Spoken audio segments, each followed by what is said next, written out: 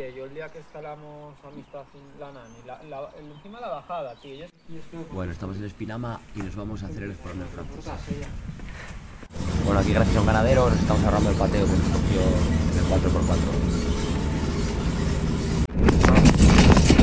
Oh, los gases todo el día.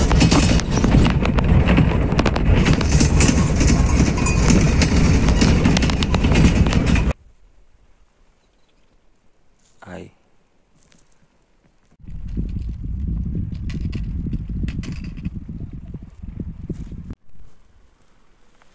Chalet real. Y por ahí el espolón de los franceses. Aquí al lado del pie de vía. La vía sale como por ahí. Y se va por ahí. Por aquí salimos.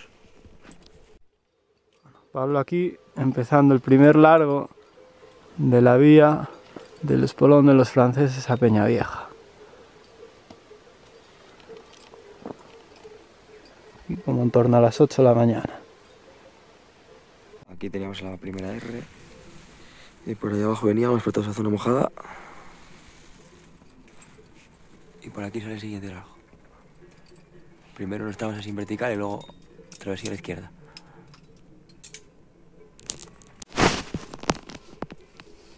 Justo ahí montó reunión eh, Rubén, como a mitad de cuerda. Encontró dos clavos así. Y segunda reunión, dos clavos. Por ahí para arriba salimos.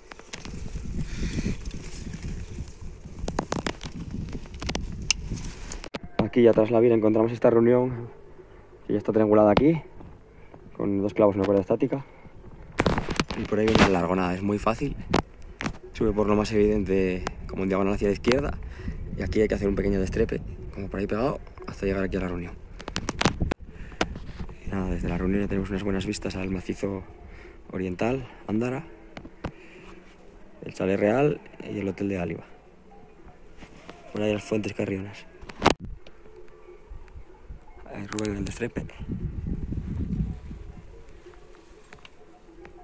Y ahora el siguiente largo saldría por aquí, como por el diedro. Vamos a ir buscando el dado, que es como aquello que vemos ahí arriba. Tenemos a Rubén chapando un frien por el diedro.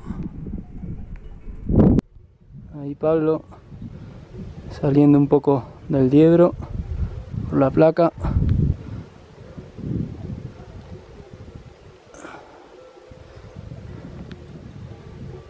Viene por ese pasín de placa. La reunión. Y sigue largo por el diedro este. Aquí sobre un clavo y un tótem verde. Triangulamos y montamos la siguiente reunión. Por aquí venía el largo. Primero por diedro y luego así por esta plaquita tumbada. Tiene varios puentes de roca por ahí. Y Rubén llegando a la reunión. Bueno, aquí en dos clavos encontramos la siguiente R. Desde la, siguiente, desde la anterior salíamos a la derecha por la primera por la primera vía que había y llegamos aquí. Desde aquí ya subimos por el espolón y luego seguimos por una chimenea. Aquí encima. Aquí sobre un, un tótem y un fisu. Montamos la siguiente R. Por aquí viene. Se pone una chimenea y por abajo es una trepadilla. De allí. Por aquí viene Rubén llegando.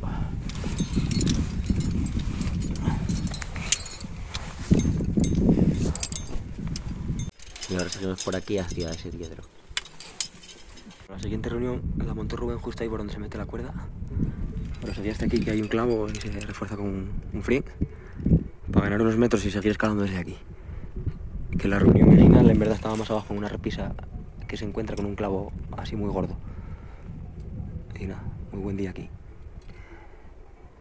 Bueno, y aquí debajo de la reunión que montamos, bajo este techo anaranjado, se sale por aquí por la izquierda. Pasos así aéreos hasta encontrar algún diedro. Aquí sobre este puente de roca, al final de este hombro que, al que nos subimos, montamos la siguiente reunión. Y nada, este largo viene así, un poco aéreo, pero en la tónica del resto de- en cuanto al grado y eso. Bastante fácil de escalar. Por ahí viene Rubén. Y el siguiente largo es el puente y roca. Sale por aquí, hay un par de clavos, se ve desde la reunión uno por ahí. Y luego ese, ese, ese gendarme se escala esquivándolo por la derecha. Y por ahí va Rubén. Ahora se tiene que ir a la derecha.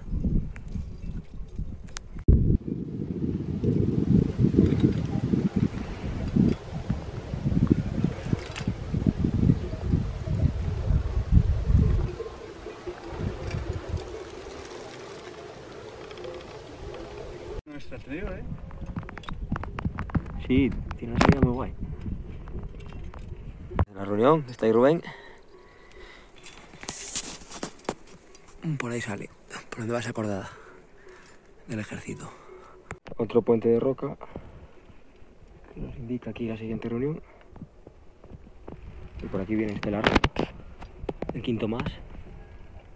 Y nada, salía de la reunión y luego encontrar una placa así un poco expuesta con dos clavos con un poco de distancia entre uno y otro y luego va a buscar una especie de de chimenea así adiedrada que queda ahí un poco más abajo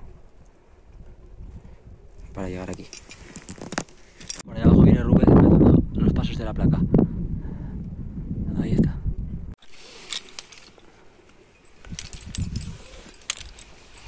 Ya vemos ahí enfrente, desde aquí, la torre roja que marca el final de lo que es la escalada más técnica.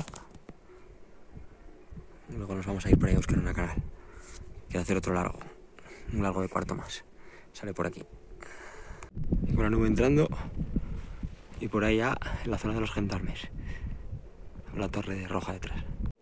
Desde esta reunión, con los gendarmes aquí, los dejamos a nuestra izquierda y seguimos para luego encontrar esa canal. Y ahí acabando la parte de la escalada.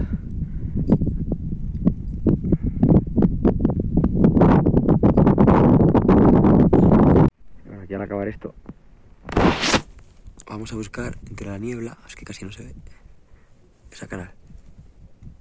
Hasta acabarla. Y luego por la lista. Ahí Rubén trepando por la canal. Por aquí venimos por la canal. Guapísima.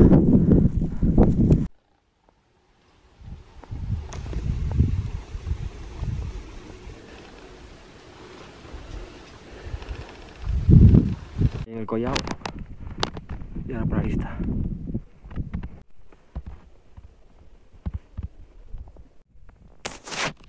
Desde ahí que está el primer rapper y destrepamos, que casi no se ve. Hay aquí un bivac. Y hacia la derecha del bivac por ahí, si se fija hay unas marcas de pintura blanca, se va subiendo por aquí. Y vamos subiendo por aquí que tenemos alguna marca de pintura blanca. Hay que fijarse bien. Lo que pasa que al ver el vivac dije, mira, hay un cordino aquí, tío.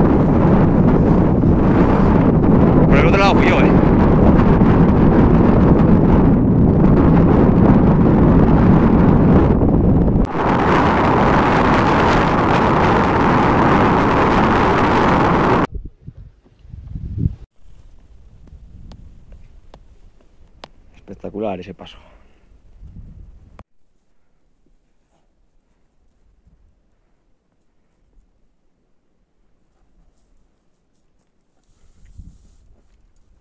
Ahí, ¿no?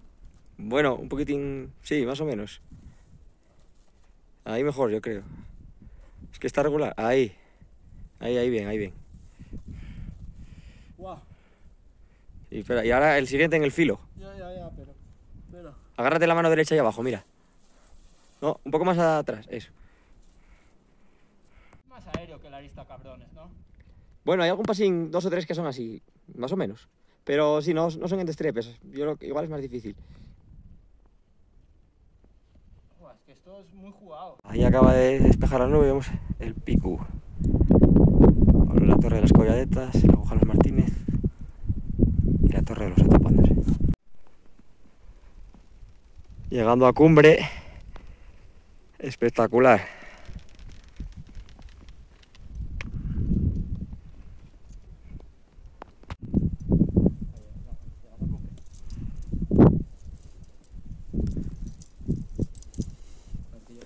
Vistas de la cumbre de Peñavieja, que se deja ver que hay mucha niebla por algún lado.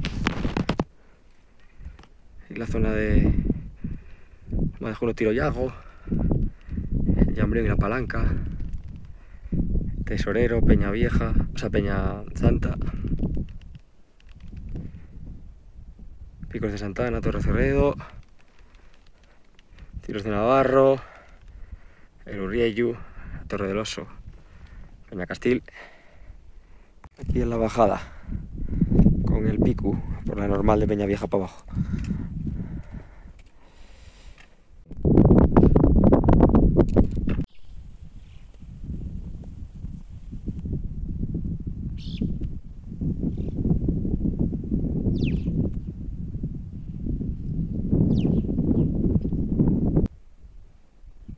Por aquí entre las nubes, hacia la canal del vidrio. Aquí en la entrada de la canal del vidrio, que es este tramo, hasta ahí abajo.